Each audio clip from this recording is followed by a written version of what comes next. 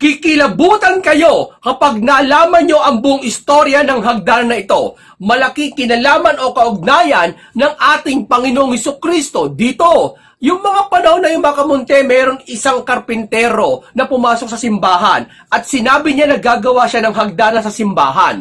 At yung matapos niya magawa ang hagdanan sa simbahan na to, hindi siya naningil ng anumang bayad at laking gulat ng mga nasa simbahan dahil bigla na wala ang lalaki na to at o naglaho. Hindi nila alam kung ano pangalan, kung taga saan to at sino nga ba ang lalaking ito.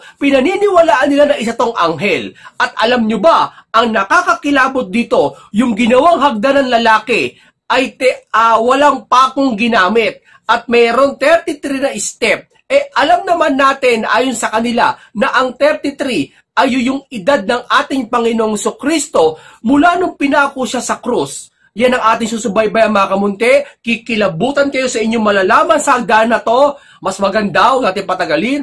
Simulan natin.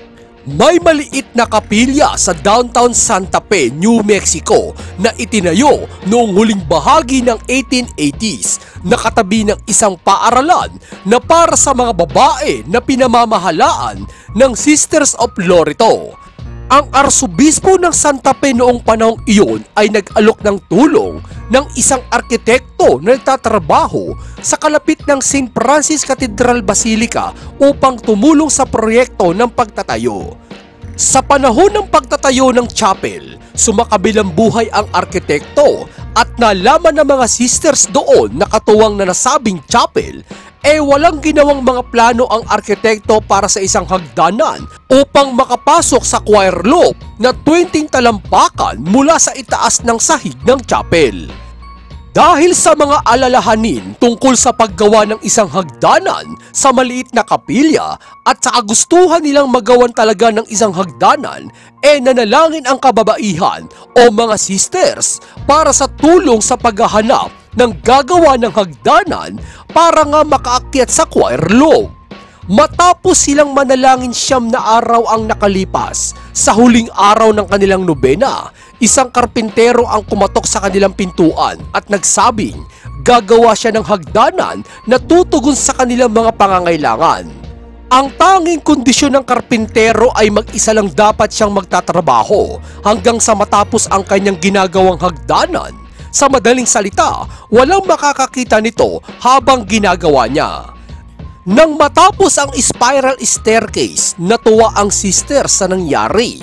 Kaya tinanong nila ang gumagawa na kung magkano ang kanilang ibabayad bilang parangal sa karpintero. Ngunit hindi siya kailanman humingi o tumanggap ng bayad para sa kanyang trabaho o kahit anumang donasyon. Sa kabilang banda, ang isa pang misteryo ay ang pagkakagawa mismo ng hagdanan ng Loreto ay walang gitnang kolum o support na beam at lumilitaw na ang lahat ng timbang ay self-supported sa base. Ang nakakapagtaka, ang craftsman ay hindi gumamit ng mga pako o pandikit man lang, gumamit lang siya ng mga kahoy ng pegs upang masecure ang mga hakbang. Bukod pa rito, walang mga rehas ang hagdanan. Nang makipag-ugnayan ang mga lokal ng supplier upang mahanap ang gumawa ng hagdanan, hindi nila ito makita na walang sino man ang nakakakilala kung sino iyon at taga saan iyon at saang galing yung lalaki na gumawa ng hagdanan. Hinala ng karamihan, isa tong anghel na bumaba upang tulungan sila. At ang nakakapagtaka pa dito, hindi nila alam kung anong uri ng kahoy na ginamit sa paggawa ng hagdanan dahil nalaman din nila na ang kahoy na ginamit ay hindi tumutubo sa lugar ng Santa Fe. Ang isang modernong pagsusuri ay nagpakita na ang kahoy ay spruce, hindi ito masyadong pamilyar. Ayon sa kanila, ang pinakamalapit na posibleng lugar para sa ganitong uri ng kahoy ay ang isang lugar tulad ng Alaska Imposible naman ang isang karpintero na magdala ng kahoy at mga tabla upang gumawa lang ng hagdanan galing sa libo-libong milya ang layo. Subalit ang isa pang nakakakilabot, meron lamang 33 mga hakbang ang hagdanan na ginawa.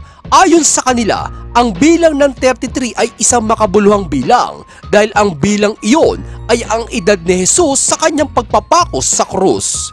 Naninindigan ang mga sisters na si Joseph mismo ang dumating para iligtas sila kaya binigyan ng mga tao ang hagdan ng palayaw bilang St. Joseph Staircase.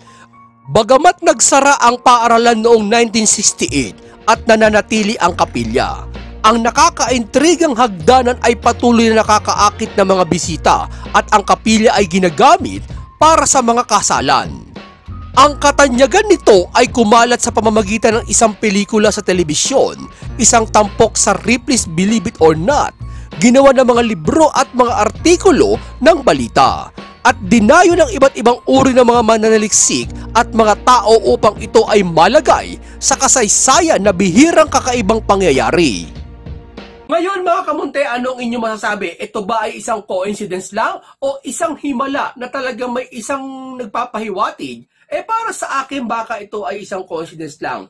Pero sa aking palagay, hindi ka naman makakagawa ng hagdan na walang pako sa panahon na yon at talagang mahihirapan. At hindi lang yan, 33 step, o maaari yung 33 eh na coincidence na to sa edad ng ating Panginoong sa Kristo nung pinako siya sa krus.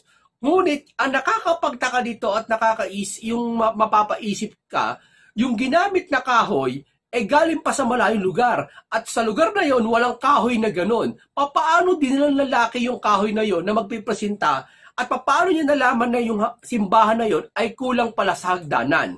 Ay hindi pa naagwagdanan. Nanalangin lang yung mga sister doon, biglang may kumatok na karpentero at nagpresenta na gagawa siya ng hagdanan. Ayun ang nakakapagtaka doon. Paano nangyari yon? O maraming salamat, Proud Muntinlupa, Hari ng Muntinlupa, Buong Pilipinas, paalam.